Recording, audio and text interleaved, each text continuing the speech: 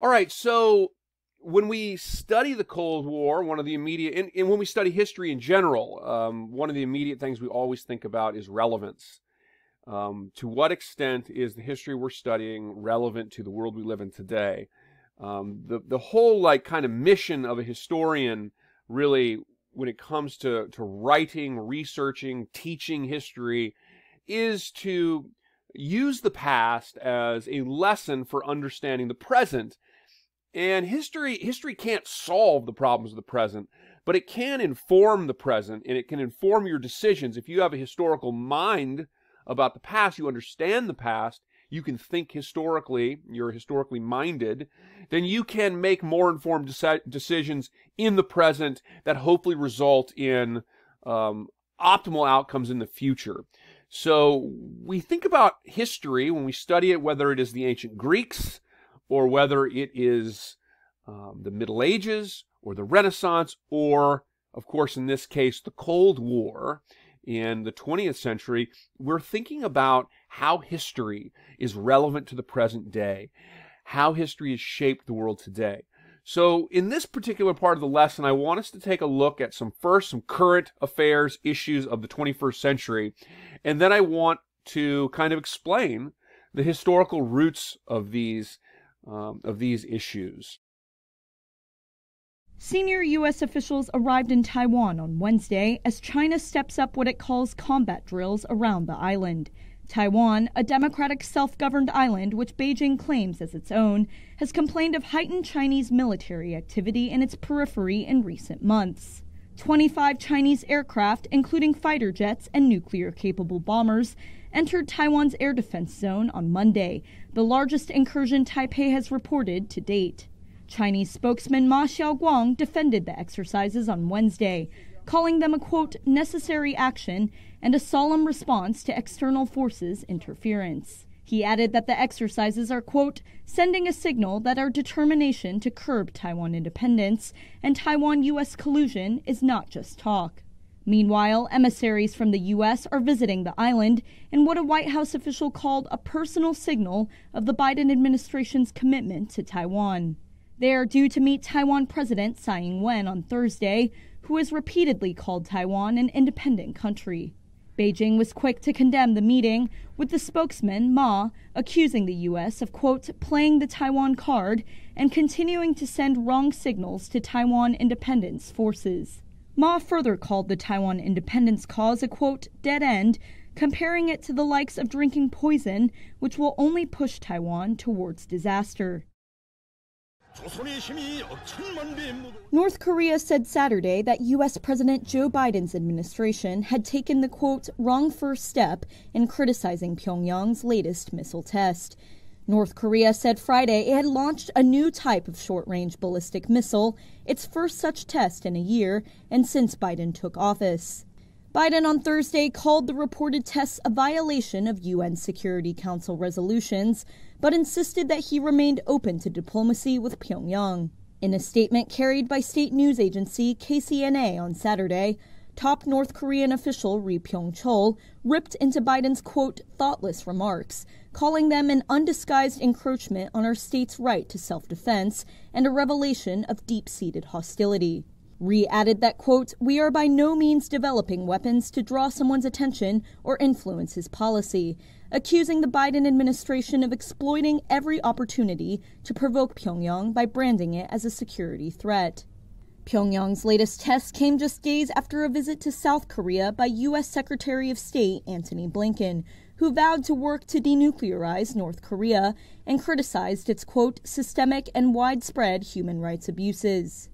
North Korea has slammed the joint U.S. military exercises with South Korea, even though they were repeatedly scaled back to reopen denuclearization talks with Pyongyang.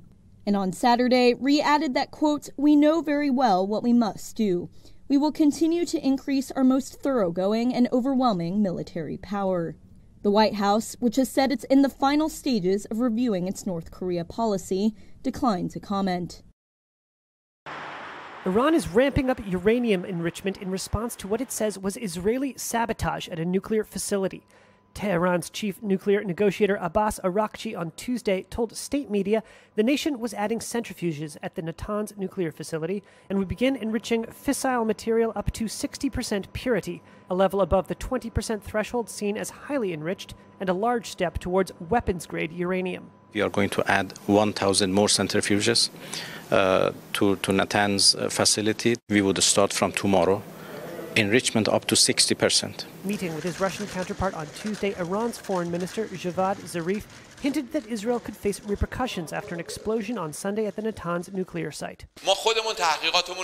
We will do our own investigations.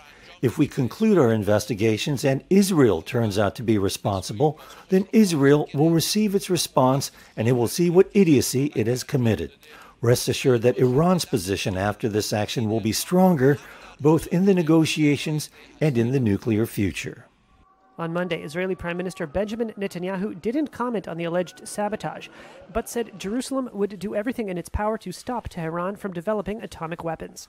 I will never allow Iran to obtain the nuclear capability to carry out its genocidal goal of eliminating Israel. Iran's plan to up enrichment comes shortly before high level talks in Vienna are set to resume aimed at reviving a multinational 2015 nuclear deal that limited Iran's enrichment program in exchange for sanctions relief. Last week, Iran and the global powers held what they described as constructive talks to salvage the deal that all but collapsed after former President Donald Trump quit the pact, reimposed sanctions, and Iran breached limits on uranium enrichment. U.S. President Joe Biden has said Tehran must resume full compliance with restrictions on its nuclear activity under the deal before Washington can rejoin the pact. Guatemalan security forces on Monday cleared a road of hundreds of migrants in a caravan bound for the United States. After an intense standoff overnight, during which police used sticks to try to beat back the mostly Honduran migrant group.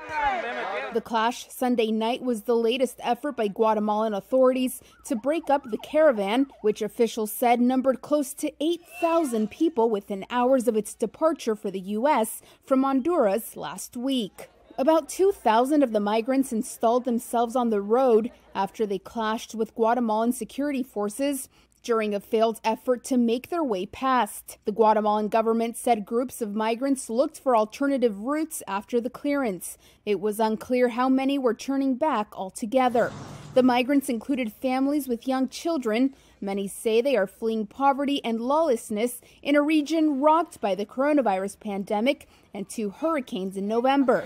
The first migrant caravan of the year comes just days before the inauguration of U.S. President elect Joe Biden, who promised to adopt a more humane approach to migration than outgoing President Donald Trump, who favored a hardline approach. Mexican President Andres Manuel Lopez Obrador on Monday warned migrants not to try to enter countries by force and said he was in touch with both the outgoing and incoming U.S. administrations over the migrant caravan. Those issues in the video we just looked at are all issues that are inherently connected to understanding um, the Cold War. Uh, many of those problems, not all of them, but many of those problems are inherently linked to developments uh, in the Cold War era. And particularly in many cases, particularly the Cold War as it developed in the 1950s. So, after, of course, in 1949, you saw the Soviet Union de- detonate an atomic bomb. Uh, you saw China fall to the communist forces of Mao Zedong. After that occurred, 1950 and beyond became associated with an increasing expansion of U.S. containment policy and a kind of movement of the Cold War away from the center, which originally in the 40s, like the center of Cold War concern was really Europe. It was Berlin, uh, that divided city in the heart of what was then occupied East Germany it was centered around Turkey and Greece and the Marshall Plan and the Truman Doctrine. By 1950, particularly with events like the Korean War, following the Soviet atomic bomb, following the rise of Mao and the Communist Party in China, the Cold War really develops, or the containment policy, I should say, really develops as a global policy to contain communism throughout the world. It became a global sort of mission. And in a lot of respects, uh, the struggles between the Soviet Union, its communist ally in China, uh, the United States, and its allies in countries like Great Britain very much extended to areas of the developing world. Oftentimes, areas of the world that had formerly been or were emerging from the colonial period. So, what we're going to talk about briefly in the slides to come, we're going to briefly talk about the Korean War, this ongoing struggle between China and Taiwan. We're also going to talk a little bit about the American Vietnam War, which, after the Second World War, is the most destructive war the United States was ever involved in and still has ramifications for relations between the United States and Vietnam today. We're going to talk a little bit about the history of the U.S. and Iran in the 1950s and how that shapes the future. And we're going to talk a little bit about Central America and how American policy with Central America has established the, the foundations for some real significant long term policies in Central America. So, first of all, to discuss the Korean War. The Korean War, which is sometimes referred to in American history as the Forgotten War, uh, the Korean War lasted for Americans upwards of some almost four years. Actually, four years, almost exactly four years, actually. What had happened with Korea, and this is a destructive war, we're talking about for the United States, something in the way of 38,000 Americans died in a pretty short period of time here. Uh, the death tolls of the Korean War for civilians and military on both sides is well over a million as well. So, what had happened at the end of World War II, much in the way that you saw with Germany, Korea became divided as the controlling Japanese empire was defeated. Korea had been imperialized, it was effectively controlled by the Japanese empire uh, for the first half of the 20th century. And when Japan was defeated, the North became influenced by the Soviet Union, communist forces, and the South became influenced by the United States and the non communist forces, much in what you saw, of course, in Germany. Well, while Germany in 1949 1950 seemed to stabilize, you, you, you began to see a, a, what appeared to be more of a lasting divide between East and West Germany. In 1950, uh, at the encouragement of Stalin, the North Korean le- leader Kim Il sung launched an invasion of South Korea and South Korea was led by Syngman Rhee. This invasion caught the United States and its South Korean allies off guard. And the United States and the South Koreans were pushed all the way back to this small area on the southern peninsula, called the so called Pusan Perimeter, as you see right here. To make a long story short, that occurs in, in September, August of 1950, where they're kind of almost pushed off of the Korean Peninsula. Then Douglas MacArthur, the general who in American history you might remember studying with respects to the Battle of Anacostia Flats during the Great Depression. He's also, of course, Douglas MacArthur is famous for his fighting in the Philippines and Papua New Guinea during the Second World War.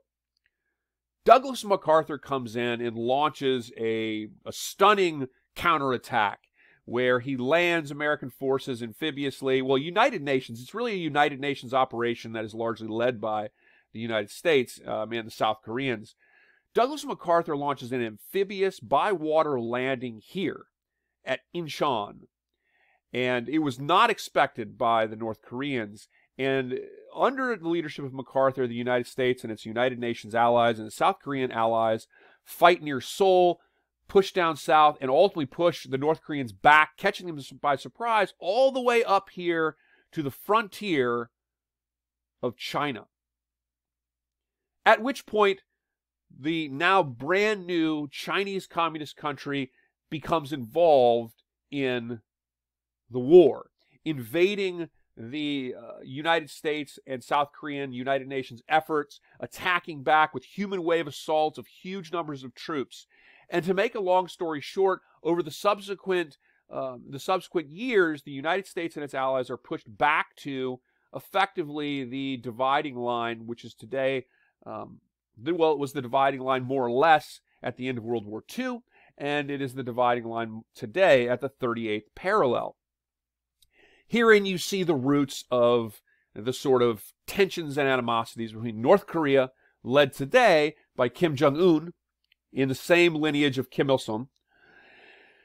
And in the South, you see the American sort of uh, the American friendly, the American ally, the democratic state of South Korea, which is an ally of the United States. And it is here that we see this sort of intense diplomatic standoff that continues well into the 21st century, with, of course, North Korea, a rather isolated country in the world, with its only major ally being China, and, of course, it increasingly advancing its aims with respects to the development of nuclear weapons. This, of course, is an overwhelming concern for not just South Korea, but other regional powers um, like Japan um, and other other countries regionally uh, near uh, the Korean Peninsula.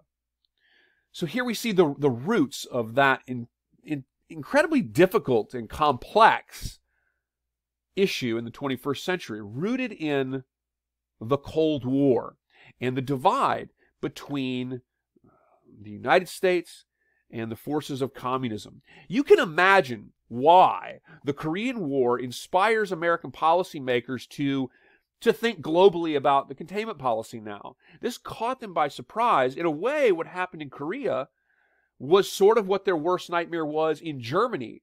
And they hadn't really been paying a lot of attention to Korea. And then it happened in Korea, and it really, along with you know the development of communist China, this event really encouraged American policymakers to think globally about the containment policy and to really have heightened concerns about what they saw as the aims of the forces of communism to push back and overrun areas of, uh, of democracy, capitalism, and American influence. What about Taiwan? Well, the relationship between the United States and Taiwan, and also, of course, mainland China, is is a is a long relationship that yet again, yet again extends back to the Cold War. Taiwan, for years, was actually recognized by the United States as the government of China, and for many years, uh, Taiwan asserted itself as the government of China, of China. Now, today, of course, Taiwan is increasingly in the 21st century increasingly asserting itself as an independent state, and Taiwan very much now after some 70 years since the uh, since the Chinese um, communist revolution of Mao Zedong, uh, Taiwan very much the Taiwanese people are very much developing a unique national identity, making them more uniquely Taiwanese in in culture than Chinese. But this is an important thing to remember the Chinese government of the People's Republic of China, uh, Communist China, view Taiwan as a place of rebellion, a place that is rightfully part of China, and a place that that the Chinese government must make part of mainland China again. The legacy here, the long history here, so in the 20th century, China fell into civil war, and it was fought between Chiang Kai-shek and the Kuomintang nationalists and the communist China, uh, communist Chinese forces of Mao Zedong. After World War II, the communist forces pushed back as the United States was really not focused on Asia. Um, the communist forces pushed back Chiang Kai shek and eventually defeated them. And the forces of Chiang Kai shek took refuge on Taiwan and established themselves there uh, at that time pledging eventually to come back and retake China. In the 1950s, the United States recognized Taiwan as the government of China. It continued to recognize the, go- the government of Taiwan as the government of China until the late 1970s. And we saw immediate crises in the 1950s related to this, as China increasingly sought, communist China increasingly sought to incorporate Taiwan and associated islands back into mainland China.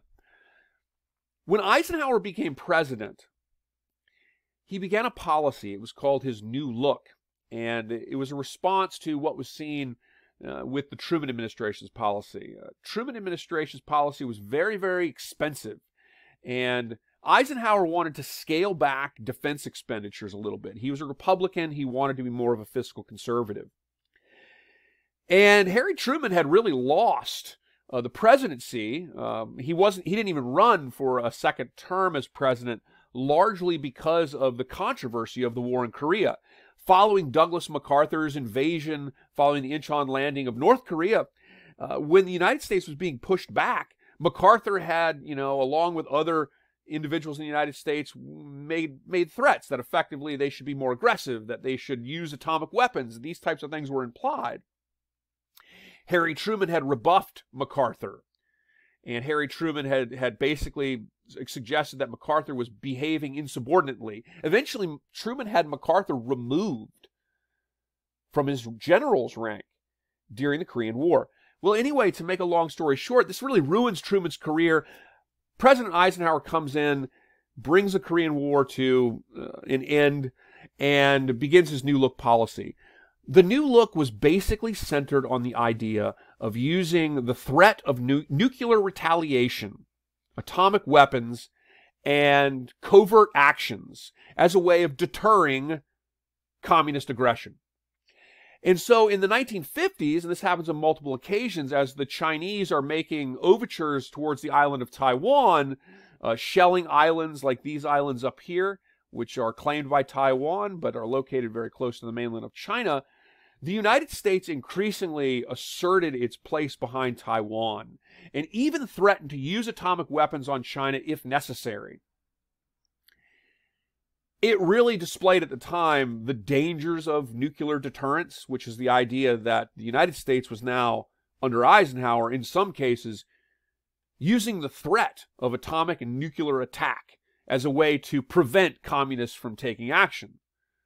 The danger of that is if you threaten it and you don't do it, right, you, you look you look weak. And this created such a problem for the United States that the Secretary of State at the time, John Foster Dulles, at one point wished that these islands up here would sink into the ocean because the United States had created such a problem by making this threat uh, so overtly. And up here, you see, by the way, a U.S. carrier, the USS Lexington, that was sent into the Taiwan Straits. At the time, this was called Formosa, to again try to assert the United States' place with Taiwan. This is an example. Now, of course, there was no atomic nuclear exchange, and eventually this this sort of conflict kind of went it went into a lull for a period of time. And increasingly in the 21st century, you've seen a rising amount of tensions as an incredibly much more powerful China with nuclear weapons, with a large navy. Um, in terms of boats, they have more boats than the United States today. An advanced um, air force is now increasing pressures to bring Taiwan into uh, the People's Republic of China. And this is a huge issue for the United States. The United States is the closest partner to China, uh, to to uh, I'm sorry, to Taiwan, and Taiwan is today a country that really represents a lot of the ideals of the United States. It is democratic. It is uh, it was the uh, one of the first and most progressive Asian countries when it comes to embracing um, same-sex marriage and um, the LGBTQ community.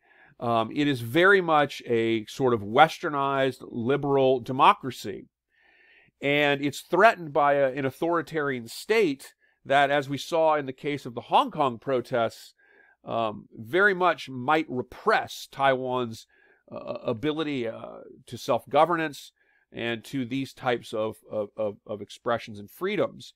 And so this really uh, makes this issue that much more significant for the United States. Taiwan is a vital ally in the region and sort of represents the ideals of the United States in many ways.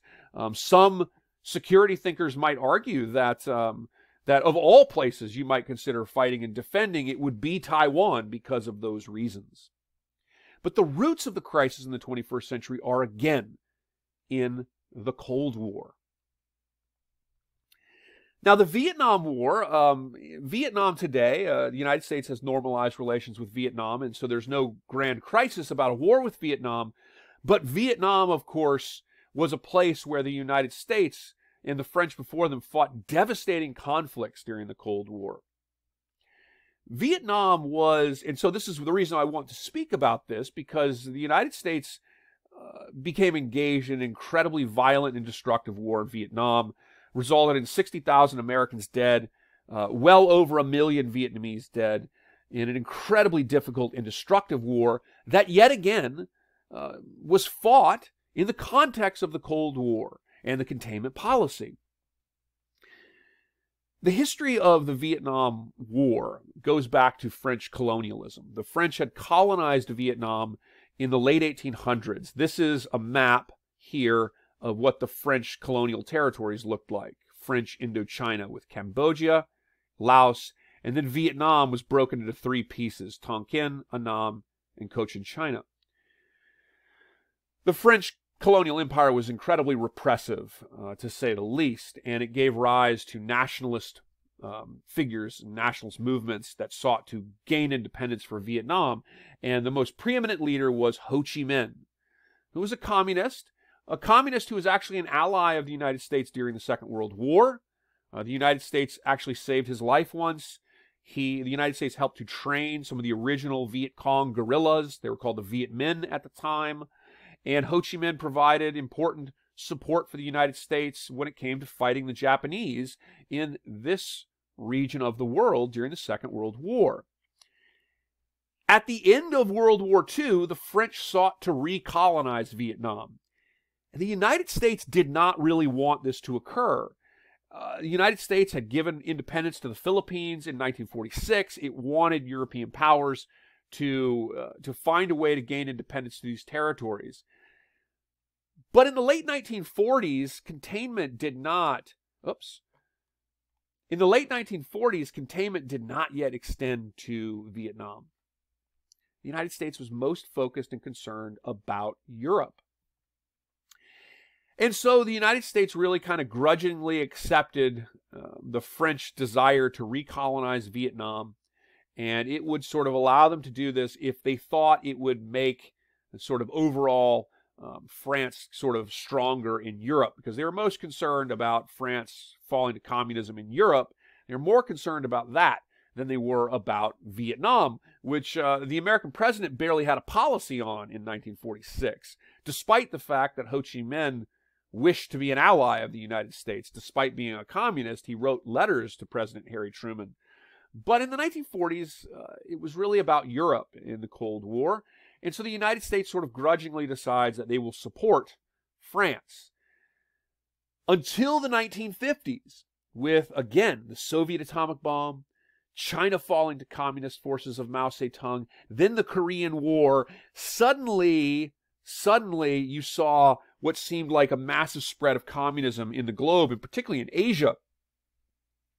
And this led the United States to then begin to fund and support France robustly in fighting Ho Chi Minh and the communists during the French Indochina War uh, in the 1950s as we saw the Cold War sort of go global.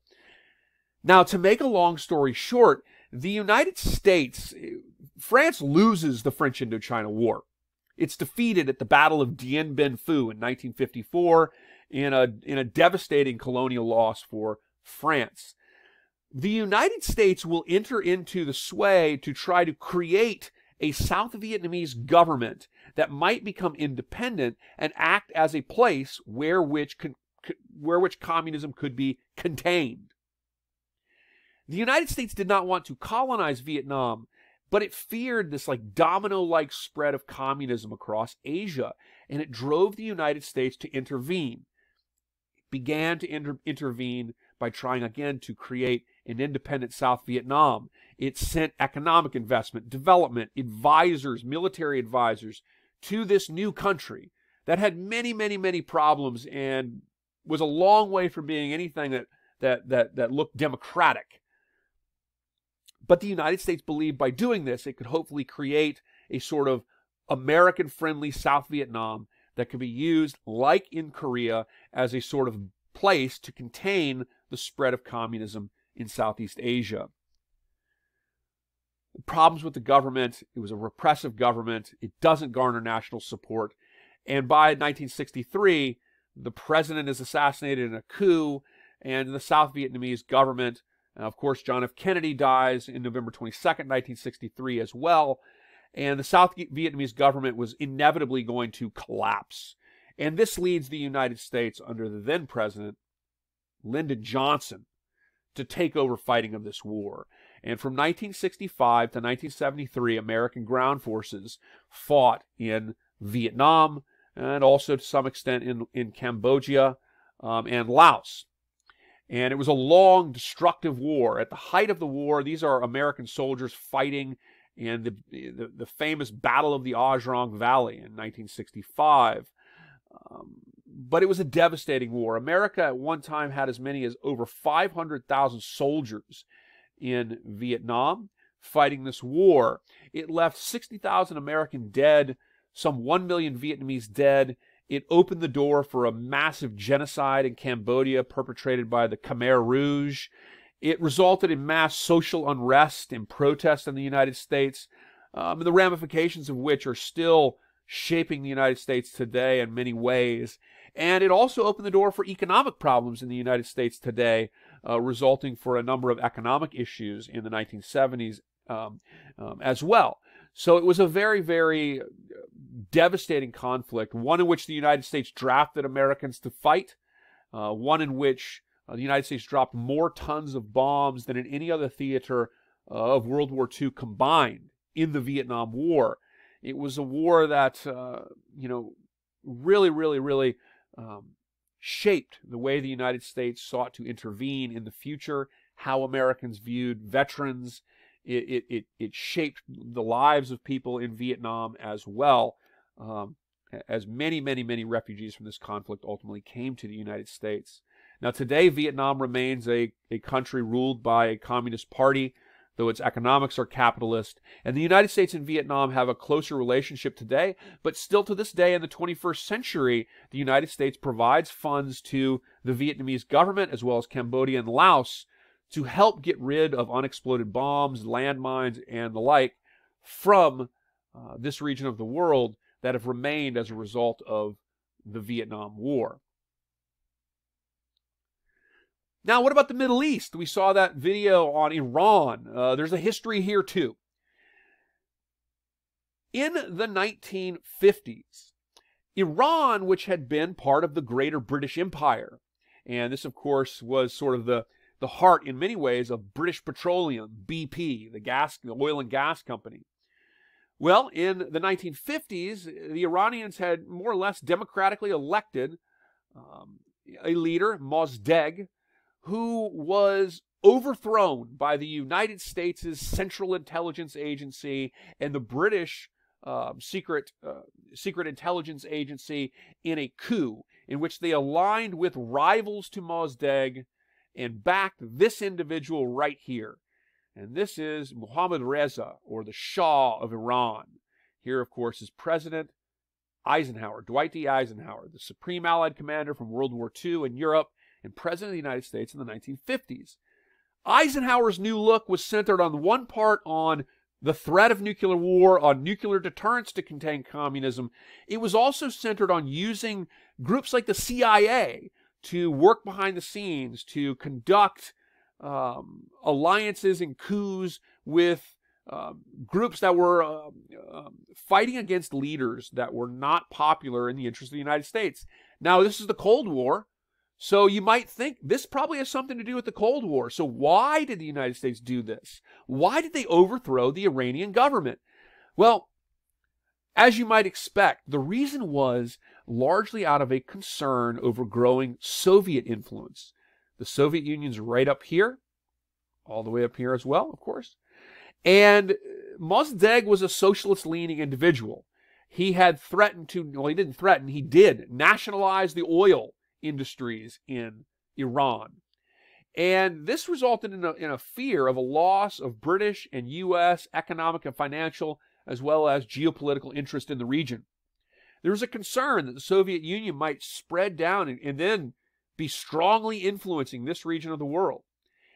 It's not by chance, of course, that when you saw in that video at the beginning of this that the Iranians speaking in that video were flanked by the Russians. And Israel, when it spoke, the Israeli government, Israel is right down here, when it spoke, it was flanked by the United States. Two positions the United States' association with Israel, Russia, and then the Soviet Union's ultimate association with Iran uh, which very much symbolizes some of the, the antagonisms of the Cold War. And here you see the location geographically of this in the world more broadly. Well, in 1979, Iran, there was a revolution and it overthrew the Shah. This is the Shah, Mohammad Reza. He was an American supported leader. He wanted to westernize Iran. But in the 1970s, the Iranian economy went down, his health went down, and it opened the door to an Iranian Islamist revolution, Islamic nationalism in Iran. And this overthrew the, the American friendly government and it created this long term deterioration of U.S. and Iran relations, which, of course, in the 1980s and beyond was associated with Iran's involvement in various types of militant and terrorist groups in the region, the response of the United States and its uh, Israeli allies in many cases, and of course, today we see this very much at the heart of concerns with the Iranian aspirations potentially for a nuclear weapon and the Iran nuclear deal. So we see again these tensions, these animosities, these problems rooting back to the involvement of the Cold War. And in this case, the United States' involvement through the CIA and British Secret Service groups in a coup that ultimately overthrew the government of Iran and created a great deal of long term animosity uh, between the two countries today. Last slide. Go to Central America. Now, Central America, the United States had a long term involvement in Central America. It was basically this region of the world, while the United States did not take colonies here, this was a region of the world that was indirectly imperialized by the United States. Um, Nicaragua, which is right down here, was uh, very much an indirect imperial territory of the United States. During the 20th century, Nicaragua had a dictator, and the dictator very much ruled. The Somoza family ruled at the behest largely of the interests of the United States and of the family's own self interest. Result was massive poverty for the Nicaraguan people, and ultimately a revolution in Nicaragua that overthrew that government just about the same time that the Iranian government is being overthrown. You had U.S. imperialism in Cuba before Castro rises in the late 50s. And U.S. imperialism wasn't centered around taking colonies, but rather using political alliances, military alliances, and economic power to effectively control and influence these areas. And Guatemala was another example of this in the 1950s. Again, like Iran, right about the exact same time as the Iranian actions were taken by groups like the CIA, the Central Intelligence also organized a coup and ouster of Jacobo Arbenz, pictured right here. The Guatemalan leader, again, he's an individual that's democratically elected, but has socialist leanings. And while there's some fears that maybe the Soviet Union might find its way into Guatemala, there were also bigger fears that a socialist leaning country might effectively destroy long term American business interests. It might nationalize the various business enterprises that exist in places like Guatemala, which will create, create economic problems for American interests in the region. Places like Nicaragua and these places in Central America were dominated by companies like United Fruit, that would grow things like bananas, and they would sell these to the United States despite the fact that their own populations were, uh, in some cases, on the verge of starvation. So we had a leader, democratically elected, but socialist leaning, and the United States uses the CIA, the Central Intelligence Agency, to overthrow this government. The United States backs the rise of military leaders in Guatemala, and the result was a 36 year long civil war. It doesn't end until 1996. And you could see this very much as directly related to other conflicts in the region connected to the long term influence of American imperial power. The Civil War, the brutal Civil War in El Salvador that dominated the 1980s, the conflict, the revolution in Nicaragua and Civil War in the late 1970s, and the U.S. attempt to overthrow that government in the 1980s. These conflicts across the Americas and Central Americas it really destabilized the region. It undermined governments, it damaged economies, and in many cases, it created the long term ramifications for the huge inequalities, inequities, and problems in Central America today that result in things like um, the displacement of populations, of gang violence, and drug trafficking, and so forth.